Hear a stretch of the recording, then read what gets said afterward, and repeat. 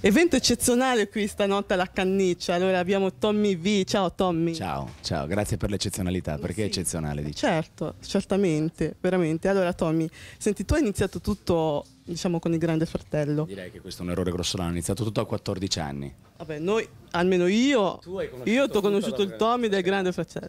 Allora, senti, comunque è un'esperienza che tu rifaresti volentieri, quella del Grande Fratello. Assolutamente sì. Perché? Perché è una bella esperienza, è molto emozionante, molto divertente ed è un'esperienza che se la sai usare con intelligenza ti cambia la vita. Senti, come ti senti? mm, vabbè, tu dici che hai iniziato a 14 anni, ok. Come ti senti quando vieni acclamato comunque dal tuo pubblico mentre suoni?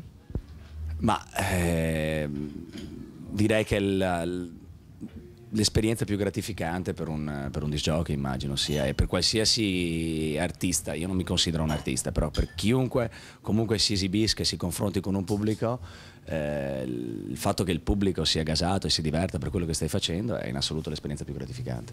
Ecco, tu comunque hai fatto de- delle produzioni, stai lavor- hai lavorato anche molto all'estero. Secondo te mm, c'è qualcosa che la musica dance italiana può imparare comunque dalle sonorità estere?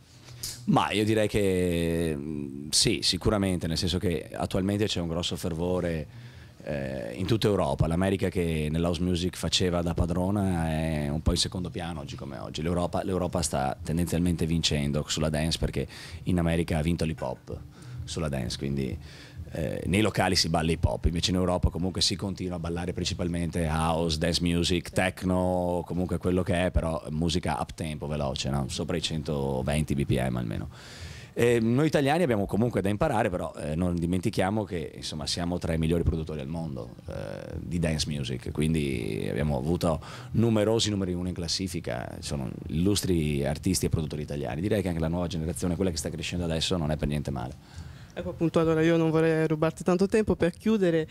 eh, un consiglio comunque a quei ragazzi che vogliono un po' fare un po' la tua strada. Ma eh, più che consiglio eh, è sempre più difficile, questa è una considerazione insomma, importante da fare perché eh, c'è crisi, tutti vogliono fare i disc jockey. eh, il problema è questo, che molte persone vogliono fare i disc jockey per diventare quello che vedono dietro la console, per, per diventare il personaggio, per diventare quello che è amato dal pubblico, eccetera. No, il presupposto deve essere diverso. Cioè il motore deve essere un altro, il motore deve essere la musica, deve essere la passione eh, e, se, e se parte da questo probabilmente ha dei buoni esiti. Se uno fa questo lavoro solo perché vuole essere protagonista o per attirare l'attenzione in qualsiasi modo, glielo sconsiglio. No, anche perché è veramente difficile, quindi solo la passione può sostenere una fatica tale. Ok, allora io ti ringrazio, buona serata con la canniccia. Grazie a te. Grazie di aver chiacchierato con me. Grazie a voi. Ciao. Ciao.